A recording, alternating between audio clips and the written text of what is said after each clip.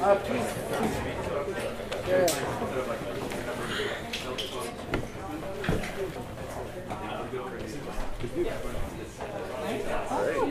Whoa,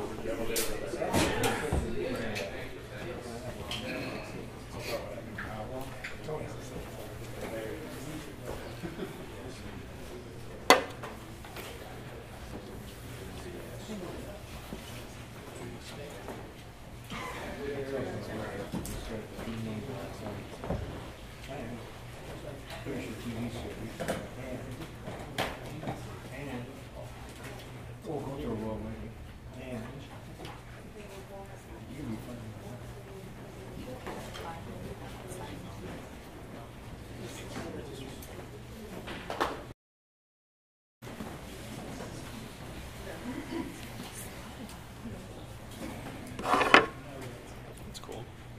I didn't realize how many companies I could hear. Yeah, it's quite a few. Yeah.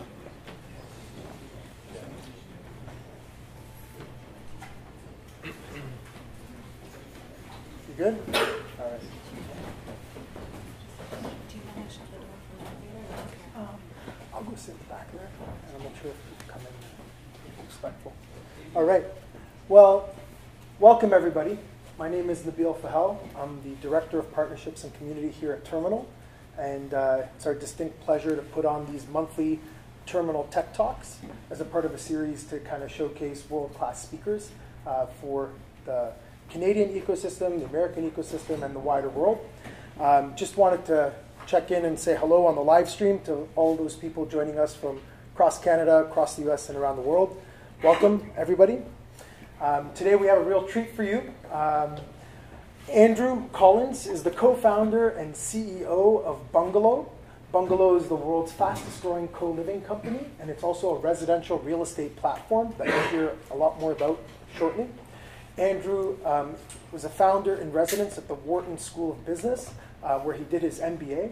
Um, he focused his studies on marketing analytics and entrepreneurship. Um, he went on to lead a cross functional team at Facebook um, that was in one of their fastest growing ad platform verticals. Um, but it was at Atomic uh, in the Presidio of San Francisco where he conceptualized the idea um, with his co founders of Bungalow. And so we're really lucky to have Andrew here with us today. And beside Andrew, we have Duncan McDowell. Duncan McDowell is a graduate of the University of Waterloo, and he's also a founder in his own right of a startup that he did prior to joining Bungalow as director of engineering. Um, prior to that, Duncan has advised hundreds of entrepreneurs in the Waterloo region and the Toronto region, and today he's leading the product and engineering team for Bungalow with a largely Canadian engineering team. Uh, so, you guys have all read the, the, the background of the talk, but principally today we'll be focusing on moving at San Francisco speed, building decentralized teams, um, quick iteration and product testing, and working with some of the best technology investors in the world. Um, I believe uh, Keith Rabois is a thought leader in the real estate tech space. He's on Bungalow's board, um, so on and so forth. I hope you guys have your own questions uh, prepared. Uh, we will be trying to take questions from the live stream on Slack. Um, but for now, I'll turn it over to our moderator, Duncan McDowell, who will be leading the fireside chat. Thank you very much for joining us at Toronto. Thanks for the kind welcome, Nabil. So I think we have about Like 20 minutes planned for Andrew and I to talk back and forth, and then really would welcome questions from the audience. I think I'd love for this to be interactive as much as possible. Um, so to start, I think it's worth discussing what we do and, and talking a bit about the origin story that got us to here. Yeah, absolutely. Uh, thanks, guys, so much for having us. Super excited to be here. Um, so, origin story, I think, of Bungalow first, and then kind of us, um, as well as and why we chose a distributed team. You know, I think sort of comes back to my own experience around the resident experience um, and what it looks like to to rent um, in major metropol- metropolitan cities. Um, so I was born and raised in Tulsa, Oklahoma, uh, in the Midwest, the U.S. Uh, went to school on the East Coast, and then joined a fast growth startup out in Silicon Valley.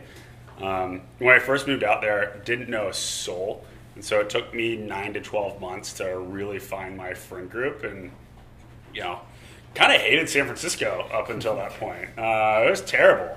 Um, but once I got grounded and got going, made a lot of friends, I, I felt much more established and much more at home. Um, and so the whole reason I moved out there was to join a fast growing bootstrap startup at the time, a company called Medallia, um, which helped brands such as Four Seasons, Nordstrom's, um, Holt Renfrew out here really think about how to deliver a world class customer experience, um, both within the brick and mortar, but also carrying that through through omnichannel. Um, and so, fast forward, um, we scaled from a team of about 50 people to about 1,000. Went on to raise 250 million from Sequoia Capital. It's the largest check they'd ever written at the time. Um, I rose quickly to lead uh, multiple teams focused on how to really deliver a world class uh, experience for the retail vertical in particular. Um, but really kept coming back down to this idea around community and, and really helping folks on that area. And I saw new members on my team time in, time out, continue to wrestle with this same problem. So, um, went to business school to study entrepreneurial management at Wharton, as Nabil said. Uh, and then it was really moving back to San Francisco and going through the process of trying to find an apartment, uh, or it all sort of clicked. It, uh, you know, I think I couch surfed for about a month and a half trying to find an apartment. I went to countless different places. It was literally easier to join a venture capital firm than it was to find a damn apartment. Uh, like that seems broken. Um, so finally found a place. Um, but even once I moved in, my rent went up by 80% in the two years I was gone. Uh, it was just astounding. And the experience was terrible. I paid with a paper check. Um, my blinds were broken. My maintenance would never fix anything.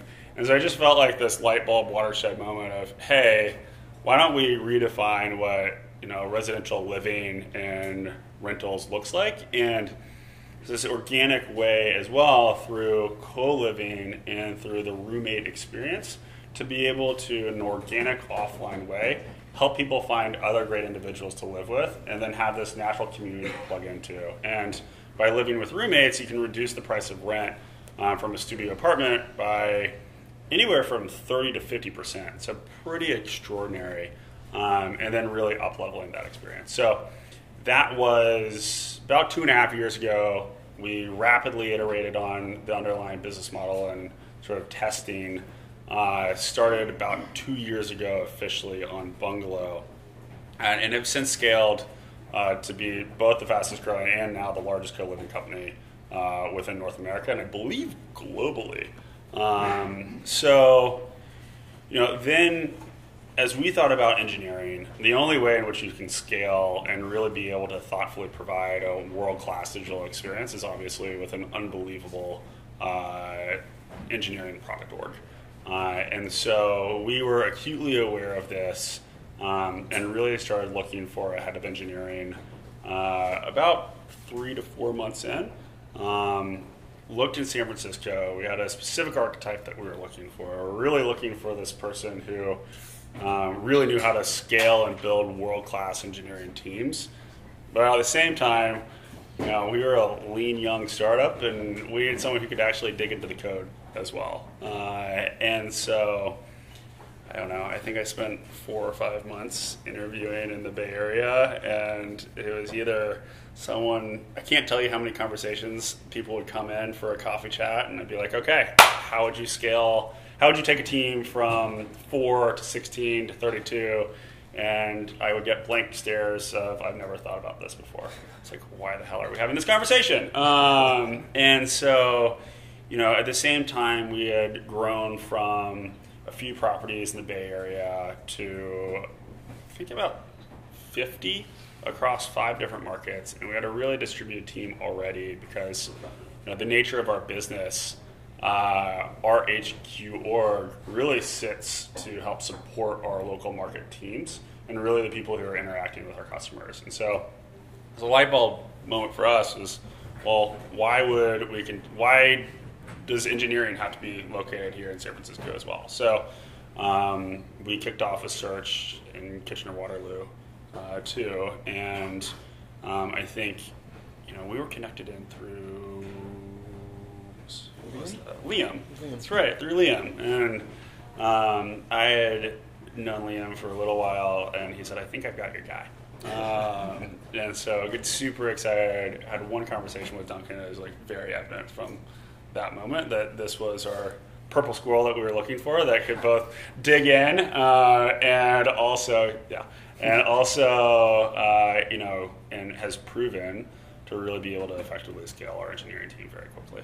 So, um, you know, with that, we a team of 20, 20 something. I think 24. Yeah, something like that. Um, 24 now, um, primarily in Kitchener Waterloo, but also have uh, a team here in this office, and then we have um, one in Toronto, uh, no, Vancouver as well. yeah. So. It's been a wild ride so far. Sure has. Um, and that has basically been scaling up over the course of the last 18 months. So, like five to ten years ago, VCs in the Valley would have pushed back against having engineering teams outside of the Valley. What do you think changed? A few things. Um, one, first and foremost, sort of the technology that allows for remote work is just dramatically improved. Um, with Zoom video, with Slack, with Confluence and Atlassian, ways in which, in GitHub, et cetera. Um, you know, frankly, frankly, it's almost better to have a distributed team in a lot of ways because it forces you to have much better. Um, the word I'm looking for? Um, much much better reliability with your documentation and really force you to make sure that uh, you are sharing the context in a written form and a written record where people can come back to later on refer to it as well. So I think first and foremost, the technology was a really big component. Um, and then I think the second piece is just a, a realization that the way in which we work um, and then housing affordability and sort of the war for talent has just dramatically shifted the landscape. Um, you know, I think one of the driving reasons why remote work is, I think, or distributed teams in general um, are so helpful is you see a lot of talent leaving the Bay Area because of housing affordability. Um, and it's the whole reason why we exist as an organization is really to try and solve that, but it's just one piece of the pie. And so there's no reason, you know, when you can access world class talent everywhere, why would you limit yourself to just one location because of proximity? And I think the technology is now there to really allow us to be set up for success. Anything else you would add to that? I think it's just that, I mean, you look at University of Waterloo, you look at UT, Gill, and some of these schools, the talent that's coming out of them is very evidently Absolutely. awesome. Yeah. And you don't need to just have kind of Stanford grads going uh, to Bay Area companies. And uh, it- it's inevitable, especially with like a lot of the reasons that our company exists, but the same reasons that distributed teams make sense for us Yep. right now. Absolutely. Cool. Have you noticed any difference in speed or urgency between Bay Area companies versus, say, companies here in Canada and the different ecosystems, or even teams here that you've worked with? I'll come at that a little bit differently, um, which is I think there is a push for speed of innovation and success or failure in the Bay Area that is really unlike any other place. Um, there are a couple of reasons for that. I think it's deeply rooted primarily in the capital stack. Uh, investors have incredibly deep pockets in the Bay Area, and there is an unfortunate there is an unfortunate proximity bias around just focus on companies that happen to be right there, and so they get a probably disproportionate amount of attention they otherwise should. Um, but because of that, venture capitalists are also humans as well, and so they have limited bandwidth for them to be able to really dig in on a project or not, and so they would much rather move a lot faster to be able to really see uh, success or a failure. Um, because then they can really dedicate their times to a lot more successful companies. Now, I think, you know, there's that's a very like myopic view on venture capital, but I think there is a lot of learnings that we can pull out from that as entrepreneurs and operators, which is, you know, how can we push incredibly quickly to have minimum viable, viable products pushed out to then get feedback on them and see success or failure when you're either adapting a new feature, new product, new business line. Um, and that helps us then refocus our energy on what are the products or features that are going to be able to really move the needle for us um, and really learn from your customer base. Uh, so I think there, I think there is a unique pressure in the Bay Area to be focused on that speed. Um, I think as long as you understand why that is the case, and then you can take and adapt those learnings towards uh, your own sort of needs and use cases, there's some really valuable lessons within that. Um, and I think we've done a really good job at Bungalow taking a lot of those lessons, and I think moving incredibly quickly. And um, you know, Reid Hoffman I was actually it was at a talk with him yesterday, um, and he was preaching blitzscaling. Um, but there was a core tenet of that, which was making sure that you have to have the feedback loops in place. You have to make sure that you have product market fit, um, or otherwise the whole thing will fall apart. Uh, and so I think that's the big piece. Is it's critical you have those feedback loops. Totally. I think so many times uh, around here at the companies that I've worked with in the past, there is a certain reticence to not failing fast, and, and there's almost like a shame about failing, and I think needs to be much more embraced as like you're learning, and totally growing. Yeah, you're only going to get better, and just a bit of a conservative mindset. Well, so what's interesting is, um, and we've started to preach this more as we onboard new members onto our team and new employees.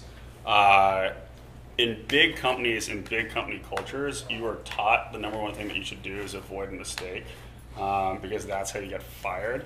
Uh, in a startup, that is how you get fired. Uh, that is horrible. Like if we're running full speed ahead, you're going to stub your toe, and failure should be embraced because that's how you learn, and you're not pushing the envelope fast enough or hard enough if you don't fail. So, uh, and a person that makes a mistake is and it's a, if it's a serious mistake, they're probably not going to make that mistake again. So exactly firing them is almost like you're you're losing the value that you got from them learning.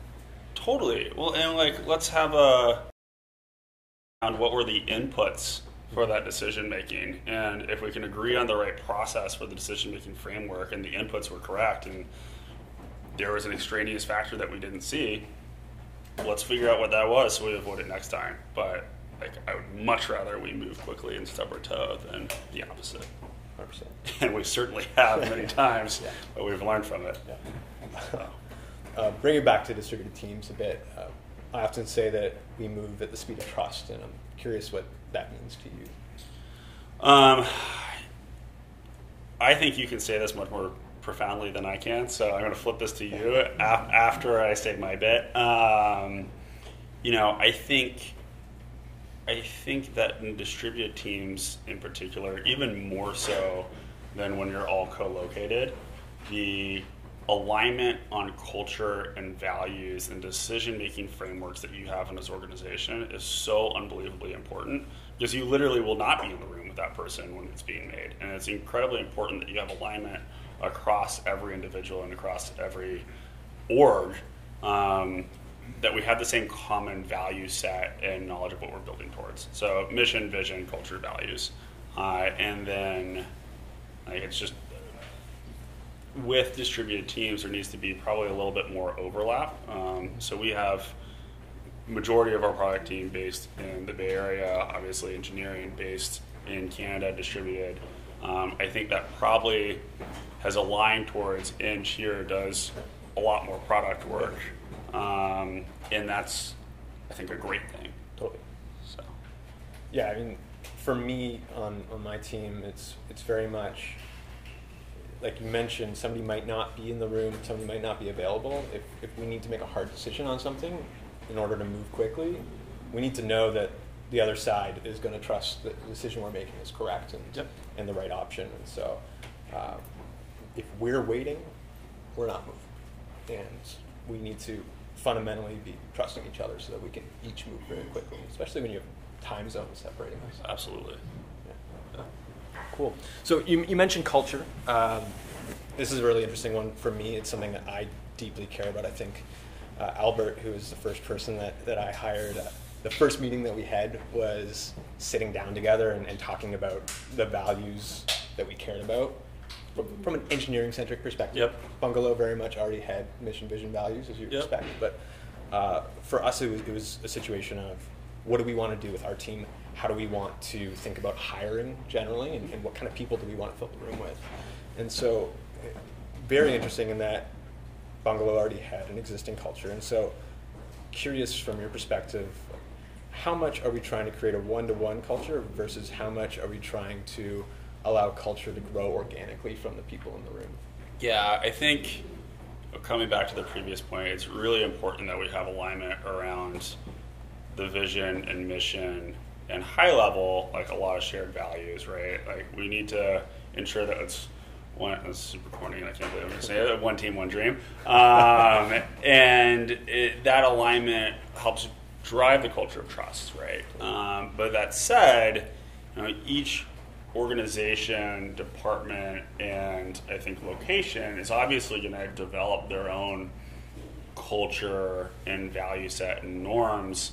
Um, and I think as long as there is a large Venn diagram of SWAS, like those should be celebrated um, because that's that's what makes it special, right?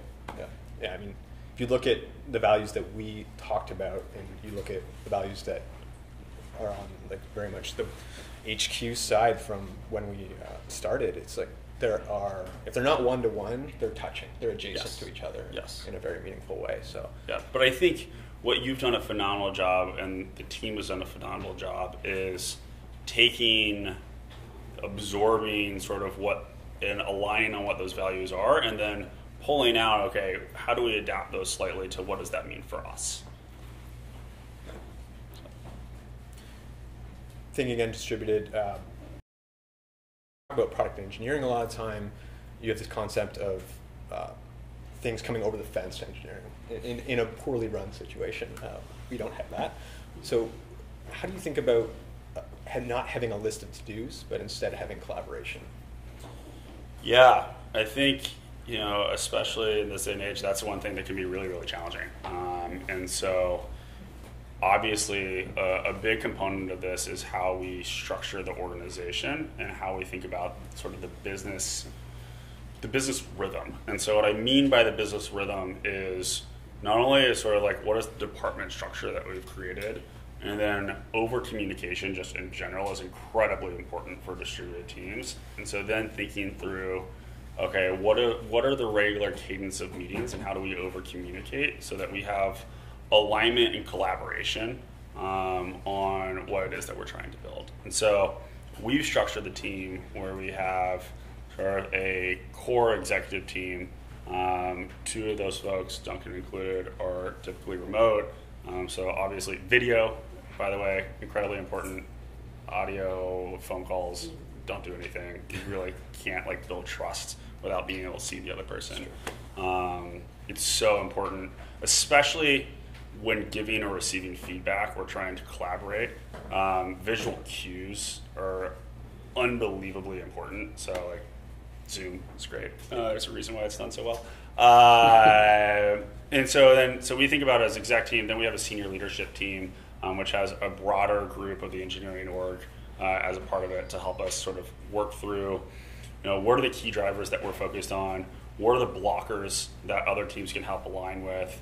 Um, and then aligning on areas where they need help cross functionally. And so then we're a team of uh, 85 today. Uh, so for us, we still are small where we really need to have uh, departments. So your standard eng, marketing, product, uh, design orgs so that you can have professional and personal development within those orgs. But then the problems that we focus on are so unbelievably cross functional that it's really important that we then have a different sort of measure or meeting structure where we can align and get those stakeholders cross functionally in the room. So, in addition to those different departments, we then have think generally five to six cross functional pods that are working on sort of what are the biggest uh, initiatives that we have for a given quarter or two quarters. So that's an amazing opportunity. Again, getting back to that collaboration away from a to-do list to have engineering and the distributed team represented um, by at least one or two stakeholders within each one of those meetings. So then you have uh, that business context directly from the front line, as well as the engineering context around, okay, how do we think we'll actually develop this in the real world? Um, and I think it makes for a much more collaborative organization, um, a to-do list in Jira. Totally. We happen to have a situation where the engineering team is actually taking a lot of product work on early, and I think Yep. it actually is hugely important for us now that we have a, a wonderful product team now, but you have a group of engineers that really care about products and they want to get involved early. They want to be in the decision making process, and I think we make better decisions that way. Yep, absolutely. Um, and I also think we've seen a pretty what's the word I'm looking for? Um, I think we've seen much better results. So, like, we obviously didn't just invent pods out of nowhere. Um, so this was through a lot of iteration, uh, and I think we found the the pod structure because of that business owner slash developer collaboration has allowed us to really accelerate our velocity as well as um, there's been a lot less ambiguity within the development cycle. So, Last question I have for you. please. We were able to find product market fit pretty quickly as a Mhm. company. Do you have any lessons from that path that could help other startups that are listening? Yes, absolutely. Um, I think iterate early and often. Um, iterate before you even have a product. Uh, we did a ton of consumer research, market research. We did a lot of testing different distribution sites. Um, with very little capital, you can spin up a really cheap Squarespace web page, landing page, or whatever, uh, and then throw some money on Facebook and Google Ads and see if you have something there. Uh, and so we were actually able to iterate on the framing, iterate on the product offering, iterate on um, the sort of price point before we even ever had a product. Um, and I think that allowed us to have a lot of unlocks and learnings before spending a dime, really. Uh, and so that accelerated product market fit so much more quickly than I think if we just started cold and, and hoped for the best. Um, what about you? From from the from the flip side, um, I mean, I think I think neither one of us probably would have dreamed how quickly we've moved and accelerated sort of the hiring here. Um, what have been your what have been your biggest surprises, and then like any words of wisdoms for for others thinking about sort of distributed teams? Sure. Yeah. So I think that I'm actually surprised at how successful we've been at, at growing the team so quickly in not just in Kitchener-Waterloo, but Toronto, Vancouver as well. The terminal model has actually been quite helpful there, especially the recruiting help that we've had. But one thing that, that sticks out to me that has been super helpful is that we've had so many referrals internally from the team that have allowed us to grow, not just the quantity, but like the quality of the team is is significant. And Yep.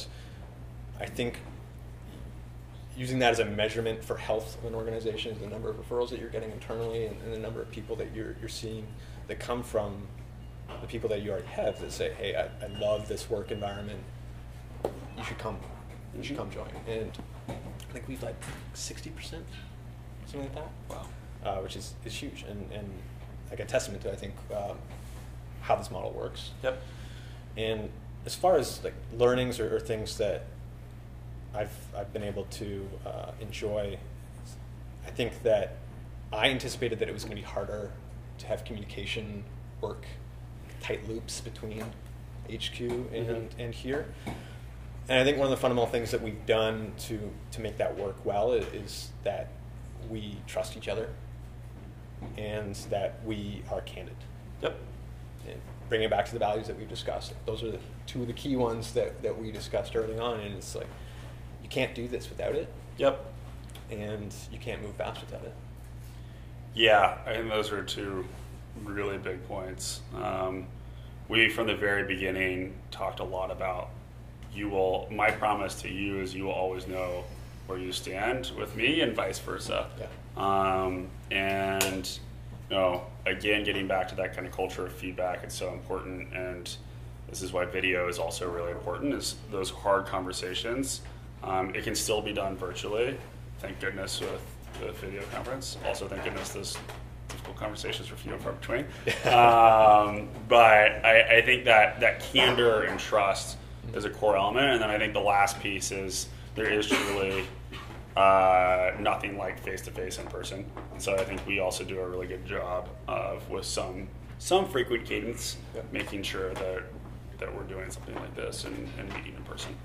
So So, well, I think time to open it up to questions. please. Yes.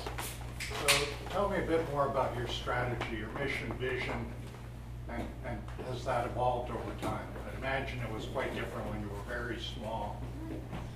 Tell, tell a bit about that, and what you've learned.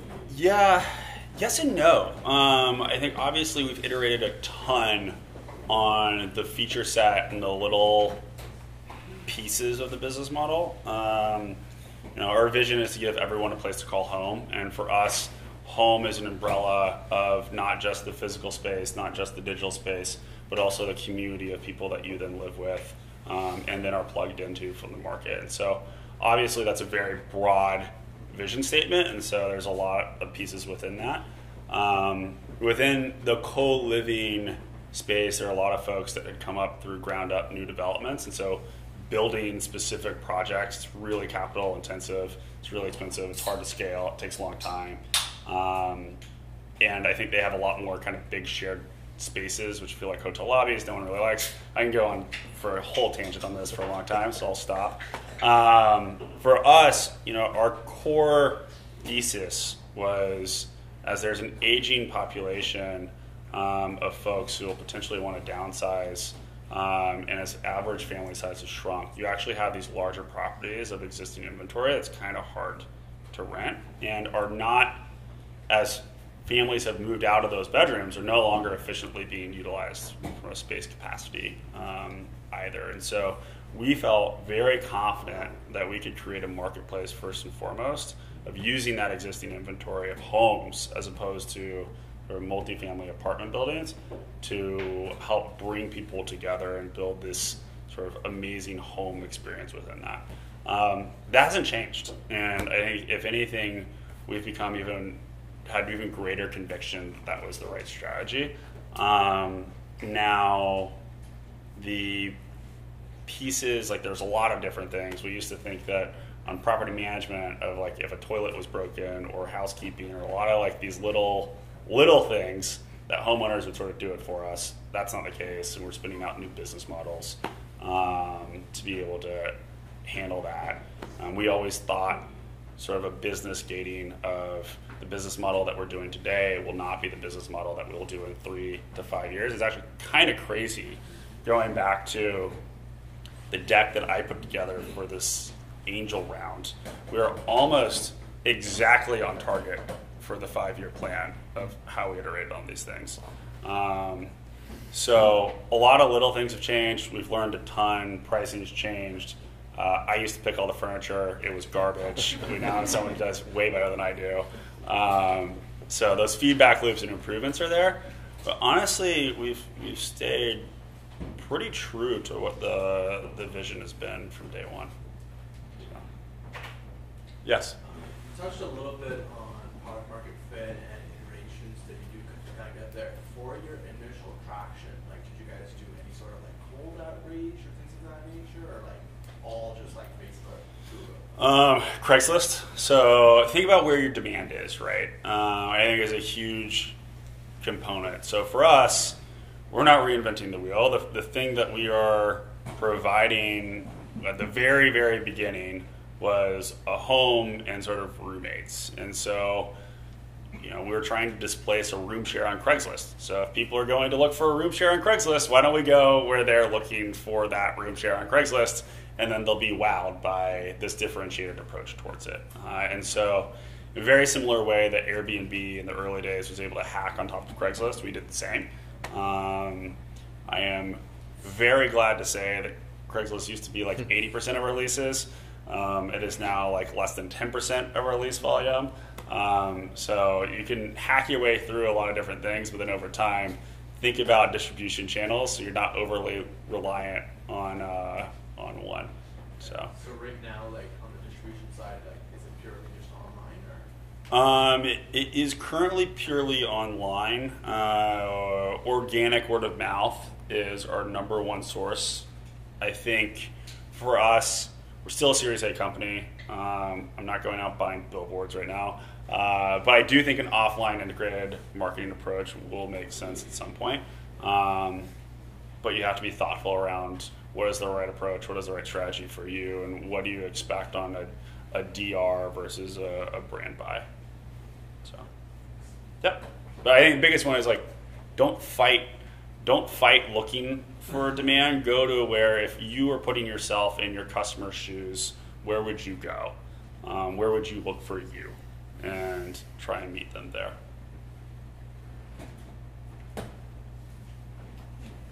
Yeah. What are some of the problems that you know you need to solve or problems that you want to solve that you haven't figured out how to solve? There's so many.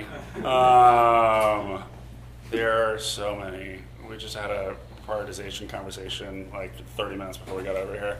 Uh, there's also like a lot of things that you want. Yeah, there's a lot of things that you want to do that is just not the burning fire. Um, and so, what is the fire that is most important to focus on with limited hours in the day? I think the number one that we're about to focus on um, was actually what I alluded to a second ago, which is on this cleaning and maintenance. Um, you know, for us, there we've been using sort of third-party contractors to do a lot of this.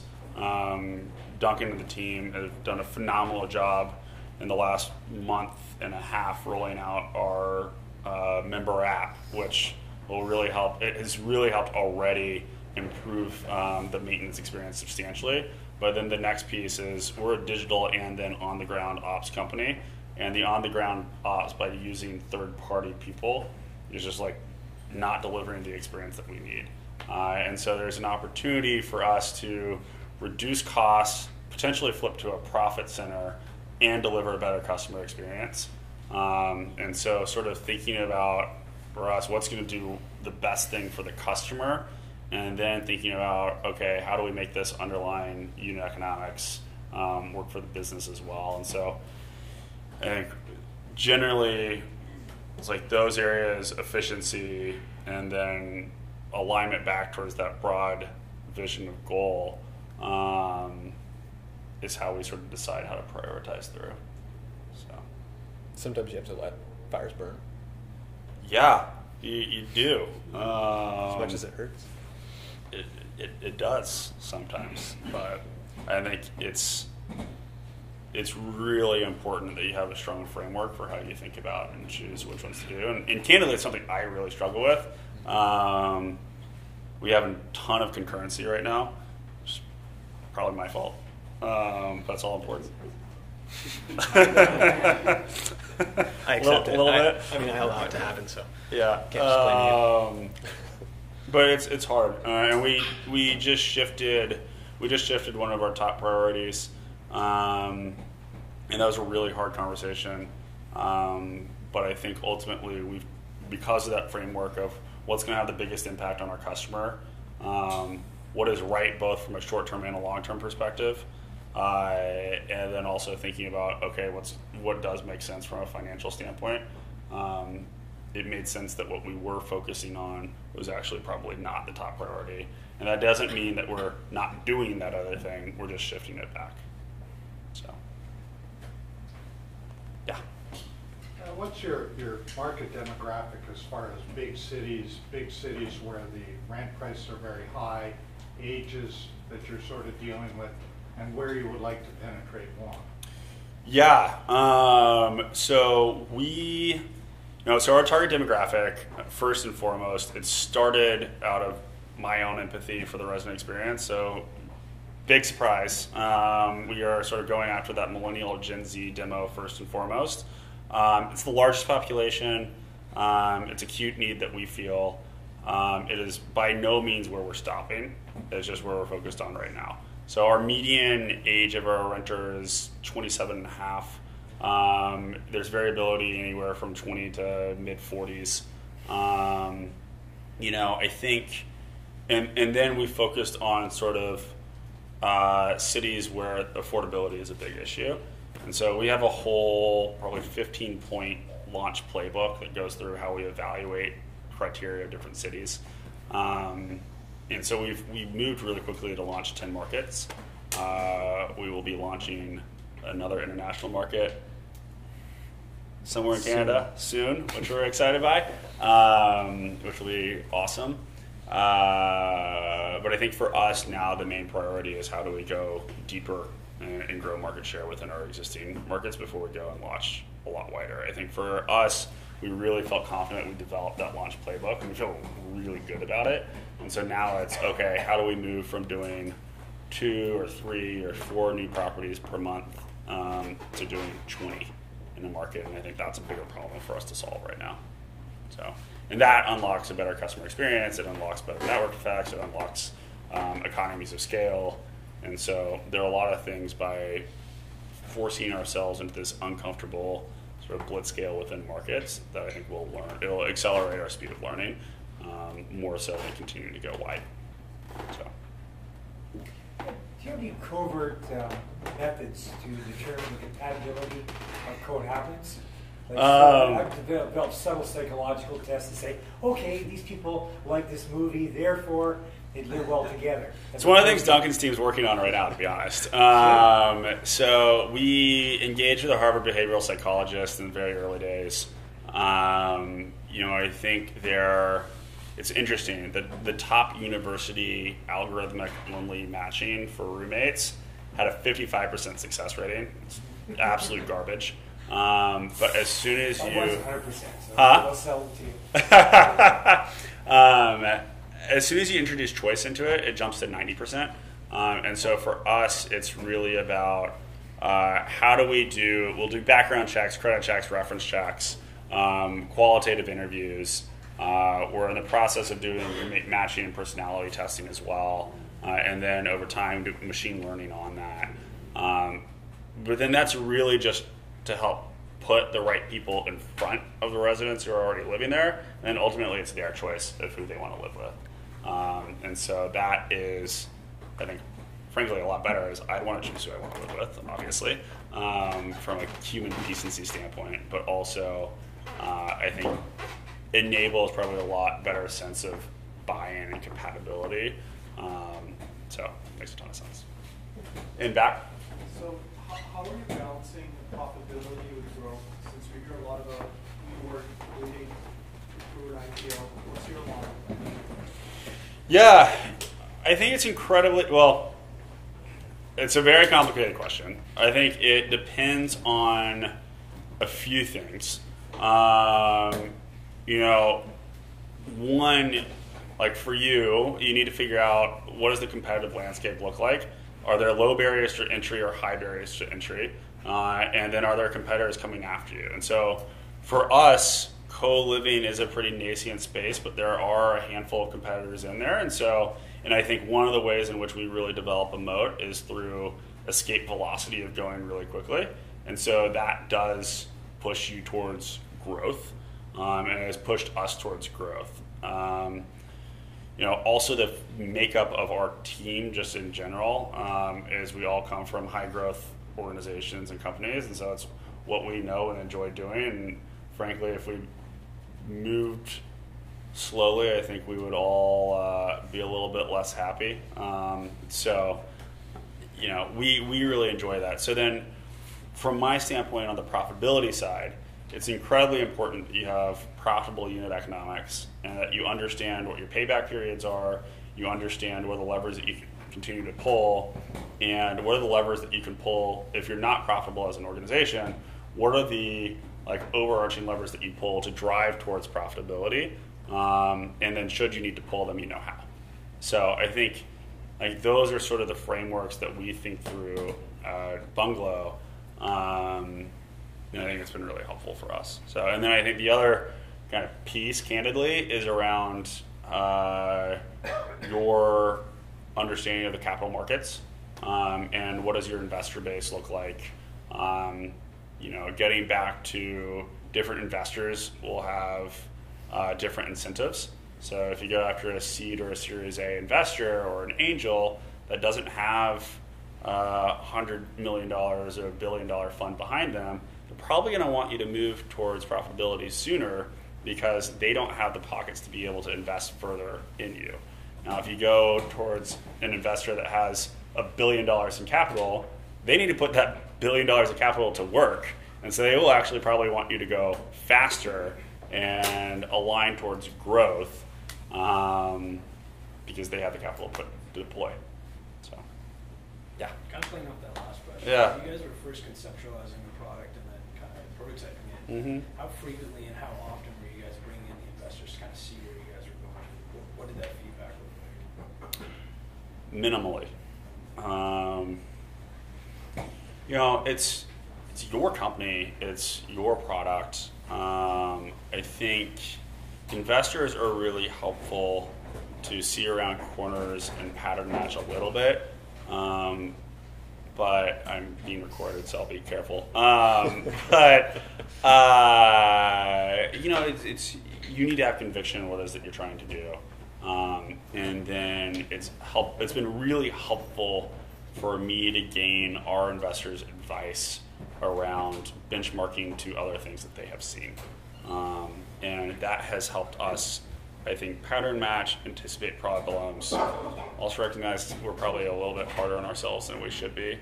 Um, but whatever, let's continue to do that. Uh, and um, yeah, so uh, like actually little, um, but it was helpful.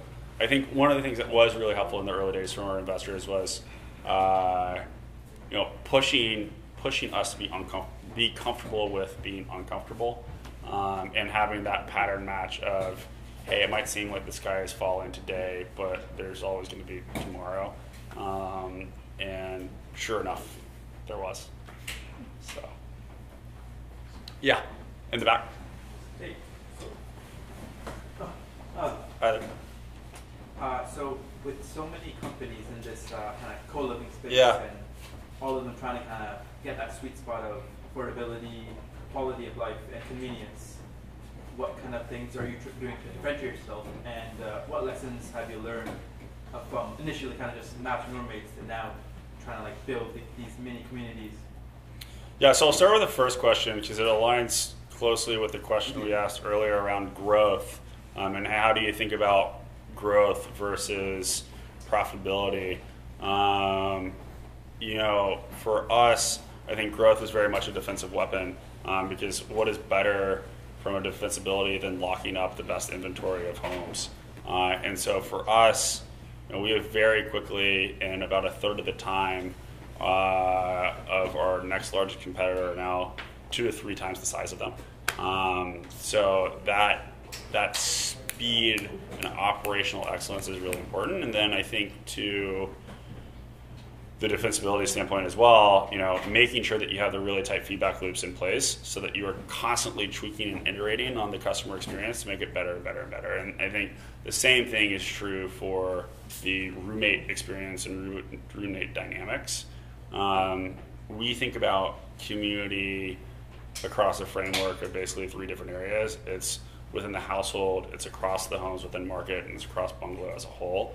Um, and getting that household unit correct is unbelievably important because if you don't get that right, everything else falls apart. Um, and so it's not rocket science. It's, it's talking to your customers and seeing what works well and what doesn't, and making sure that you have the processes in place to learn from it. Yep. I'm really interested in the similarities between property rentals and software subscription. Seems perhaps that's very similar, but I also see that being really risky and getting those models confused. I'm wondering if you have any lessons or insights around that. That is a great question. Um,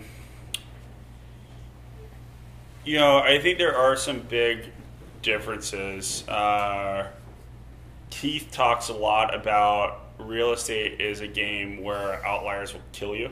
Um, and so in software, you know, you have 80% margins. it doesn't really matter if you have a bad customer, you can just like eject them. For us, we have real investment that we're putting in each one of these homes. There's real capital going to work. And so it's incredibly important that our underwriting and pricing models and demand models are accurate. Um, but then I do think there are a lot of interesting corollaries around how we think about scaling this and how we think about marketplace dynamics and how does that then align with subscription revenue. Um, so I think that there are really strong corollaries, and, and where it's where it's similar is if you build a phenomenal uh, subscription software business, your retention is excellent. And so for us, we think about it very similarly, and so we're very very focused right now, in particular, on an outsized proportion of our uh, development cycle is really geared towards that resident and customer experience um, so that we create an ecosystem and a network where folks want to live with us for five, six, seven, eight years.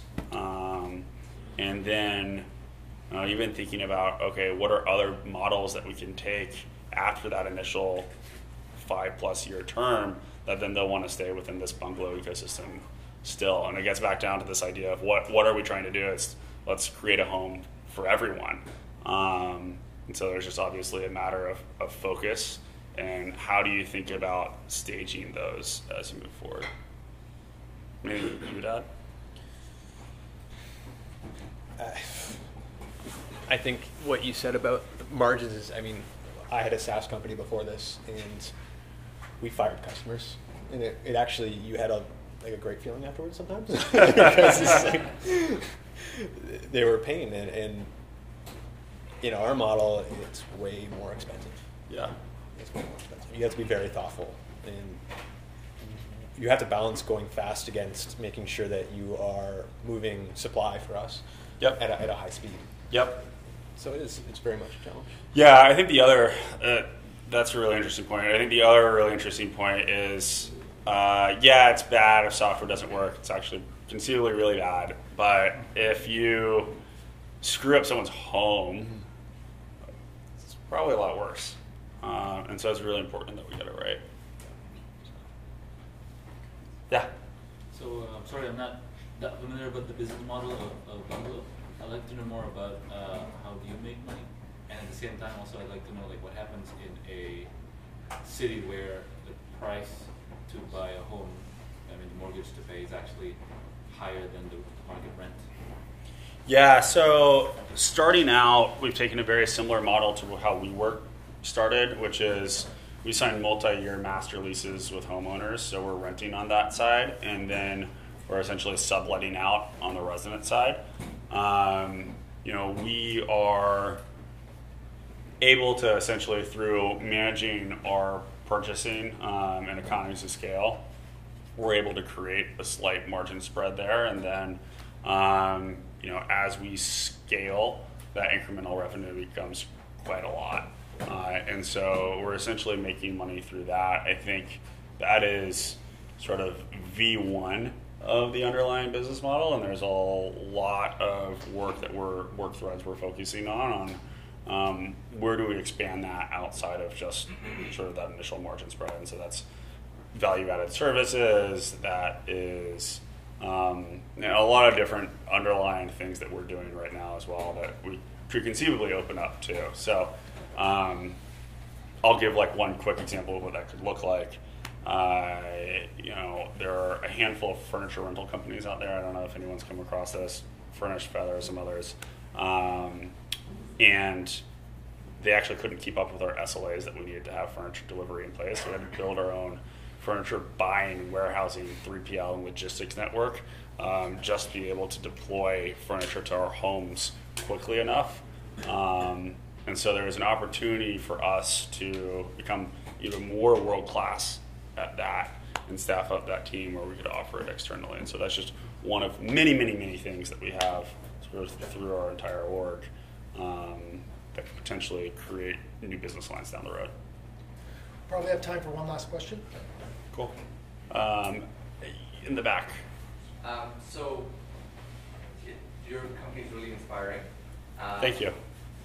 And you've been in PropTech before PropTech was a thing, before it was a thing. But over the next few years, what do you see as key challenges and opportunities as the industry develops? Um, first and foremost, it is a huge industry, right? Like I think the uh, biggest market there is is residential real estate and kind of broader real estate landscape. Um, and it has also been something where because of urbanization, because like just the human growth rate has been positive, um, people have done basically almost nothing and been able to make fortunes in real estate for a very, very long time.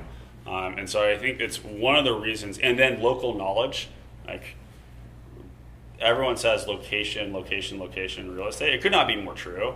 Um, and so local is like highly fragmented as well. And so all this means is there's this pretty old industry um, that still exists and is still backwards in a lot of ways that has disproportionate amount of profitability, revenue creation, wealth generation. Uh, and so you see prop tech really coming into its own to think about how do we how do we change um, and how do we make improvements through every single facet of this space. Um, I think we're just scratching the surface. Um, it will be really interesting to see what the economy does um, over the next five years and how the global economy in particular uh, impacts this. Um, you know, and I think less so on bungalow and more so I think just prop tech in general. Um, so, I mean, obviously, rising interest rate environments. There's a lot of fintech companies in this space. Um, so, I, I don't profess to know. I think, candidly, we've been super heads down on doing this. So, I don't have a huge allocation of time to be able to pick my head up. Um, but I think, you know, we're just scratching the surface um, with seeing what what technology can really do to, to improve the real estate space in general. So, cool. Thank you all. Yes.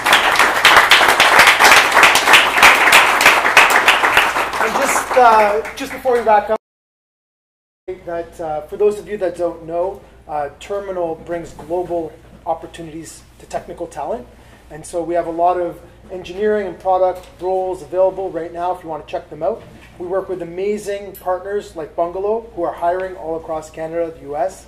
So if you'd like to learn more about Bungalow, check out bungalow.com or terminal.io to find out more about those opportunities. Uh, this is a small gift for Duncan McDowell because he's from down the street and I didn't want to send Andrew home with a bunch of things. But uh, you did get a gift. It is in the mail and it's on the way you. Andrew's joining us, for those of you that know from San Francisco. And uh, tomorrow he's on multiple stages at Collision. If you'd like to check him out there, um, he'll be on the Growth Stage Summit. He'll be on a couple panels from what I understand. I'll, I'll see you there. Perfect. But one, one last time, thanks guys, and thanks for coming. All right. So, yeah, if you will be hanging around for just a bit, we're resetting the room. So, uh, if you want to speak to the guys, uh, by all means.